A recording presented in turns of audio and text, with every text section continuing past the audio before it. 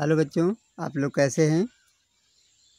तो देखिए, हम आपको रस रस की परिभाषा, रस की अंग को पहले, आपको पहले पढ़ा दिया है। तो रस के मुख्य रूप से चार अंग प्रमुख हैं। अस्थाई भाव, विभाव, अनुभाव और संचारी भाव। अस्थाई भाव को हमने आपको पहले बताया है। आज हम आपको विभाव के बारे में बता रहे हैं। विभाव क्या है? जो व्यक्ति, वस्तु, परिस्थितियाँ आदि अस्थायी भाव को उद्दीप्त करती हैं या जगाती हैं, उन्हें विभाव कहते हैं। अर्थात जब हम किसी नाटक या काव्य को पढ़ते हैं तो हमारे मन में जो भी भाव परिस्थितियाँ आती हैं, उन्हें हम विभाव कहते हैं। इनके दो भेद होते हैं, पहला है आलंबन विभाव, दूसरा है उद्दीपन विभाव। आलंबन विभाव क्या है? अस्थाई भाव, जिन व्यक्तियों, वस्तुओं आदि का अवलंब या सहारा लेकर अपने को प्रकट करते हैं, उन्हें आलंबन विभाव करते हैं। अर्थात जब हम किसी नाटक या काव्य को देखते हैं तो हमारे मन में जो अस्थाई भाव का या किसी व्यक्तियों का सहारा लिया जाता है तो हम उसे आलंबन विभाव कहते हैं। इनके दो रूप हैं। पहला है आश्रय, दूसरा है विषय। आश्रय क्या है? जिस व्यक्ति के मन में रति आदशाही भाव उत्पन्न होते हैं, उन्हें आश्रय कहते हैं। अर्थात जैसे शकुंतला को देखकर दुष्यंत के मन में जो प्रेम का भाव पैदा हुआ है, वो आश्रय कहलाता है। तो विषय क्या है? जिस व्यक्ति या वस्तु के कारण आश्रय के मन में रत या अस्थायी भाव उत्पन्न होते हैं, उन्हें विषय कहते हैं। अर्थात नाटक को देखने के पश्चात हमारे मन में जो भाव उत्पन्न होते हैं, वो विषय कहलाते हैं। अगला देखिए, उद्दीपन विभाग क्या है?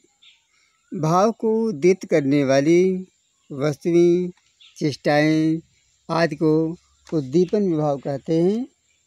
अर्थात जब हम किसी काव्य को पढ़ते हैं तो हमारे मन में जो प्रसन्नता इत्यादि भाव उत्पन्न होते हैं, वे उद्दीपन विभाव कहलाते हैं।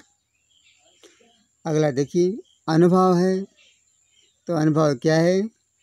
आश्रयगत आलंबन की उन चेष्टाओं को, जो उन्हें अस्थायी भाव का अनुभव कराती हैं। उन्हें अनुभव कहते हैं। इनके चार रूप हैं। पहला है कायिक अनुभव, दूसरा है मानसिक अनुभव, तीसरा आहारी अनुभव और चौथा है सात्विक अनुभव।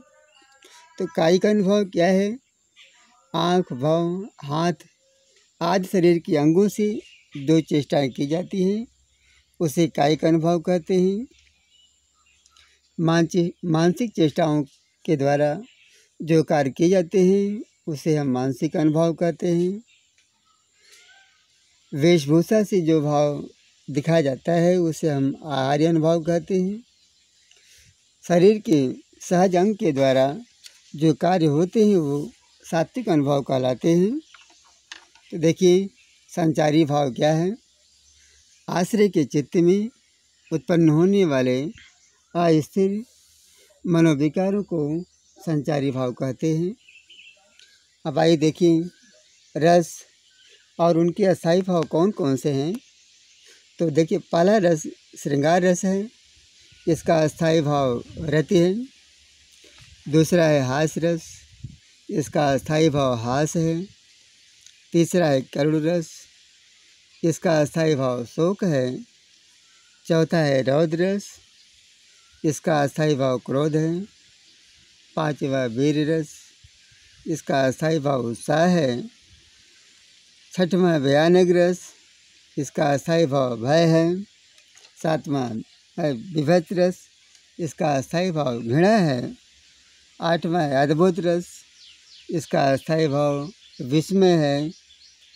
नौवा है शांत रस, इसका अस्थायी भाव निर्वेद है। दसवां है वात्सल रस इसका अस्थायी भाव वत्सल या प्रेम है। ग्राम है भक्त रस इसका स्थायी भाव देवता विषय रहती है। अब आइए देखिए आपको एक एक करके सारे रसों को परिभाषा उदाहरण के साथ बताते हैं।